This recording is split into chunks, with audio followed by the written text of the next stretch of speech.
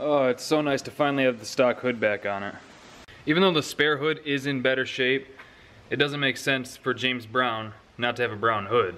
All I had to do was just drill out two holes and retap them. And now that we got that done, because that was super important, very vital to the build, we can move back onto the GMC. And I do have some news about that that might bother some of you guys.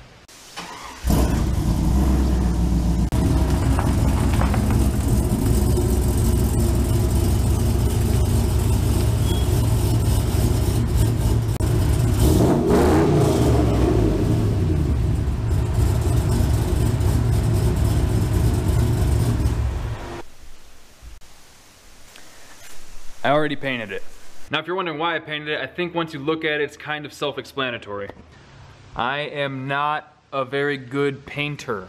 And once you get past that, it does look way better than it did before, obviously, considering before it had a massive hole right here and a massive hole right there. Not really massive, but pretty big. And I did my best to recreate that body line. And if you get all the way back here, it's not super noticeable. And if you do follow me on Instagram, odds are you've already seen pictures of the truck like this because I haven't done anything to it since painting it like three days ago. Now I'm sure that there's a couple of you guys that, that wanted to see the whole process, so I'm gonna go through it really quickly.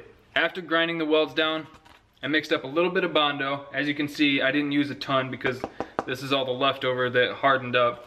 I took a little bit of Bondo, sanded that smooth, like that. That took a while. Then I took some sandable primer, Primed it a few times, obviously not like that. And then once that dried, I took some touch-up paint. In this case, WA382E, which is the GM code for pewter metallic, which is the color the truck is. And then once the primer was dry, sprayed it, and then after that, all it's been doing is just sitting drying for the past few days. Now you're up to speed. It looks kind of like art. Minimal effort. So what we're gonna do today is hopefully try to blend it as best as I can.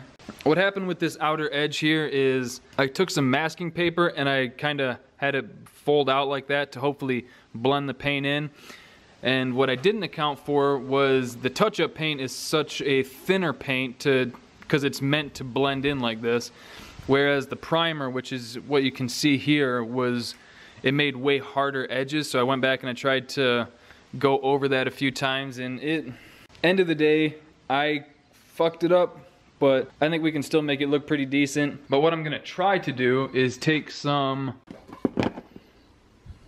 yeah, and take some rubbing compound, try to break it down a bunch, and then take some polishing compound and bring some shine back. I definitely don't expect it to be perfect because it's me and that's body work. Those two things just, they don't go together. So now I'm gonna try to find our buffing wheel that we haven't used in probably a year and uh, try to get this as close to done as I can before. Well I found it. It was sitting behind the grinding wheel and uh, it got a little little messed up. So I might have to try it by hand first with uh, with a microfiber cloth and if that turns out like I'm expecting which is pretty much no difference we'll see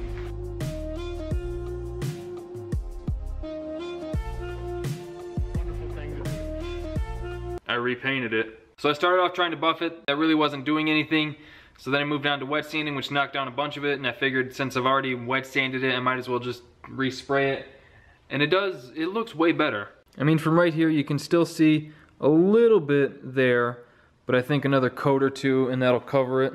But literally all I've done is wet sanded it down with about a thousand, thousand grit. Made sure to wipe it off with some of this uh, degreaser stuff. And then after that, just taped off this chrome piece, sprayed it, kind of feathered the edges out, which is definitely an improvement over just this morning. But I am gonna do at least one more coat, probably two. Um, if there's enough left in the can, I'll do a third coat just to make sure it is good and covered. And then, I mean, it's still, fuck you guys, I'm doing good. Bodywork is so fucking frustrating. All right, now that that's about, about as good as I'm gonna get it, I'm gonna start mixing up some clear coat. Now, my dad is a way better painter than I am. He uh, he's been doing it a whole lot longer. He's got he's got it down. But since it's my video and not his, I figured I might as well do the painting here. That way if something gets fucked up, I'm the one that gets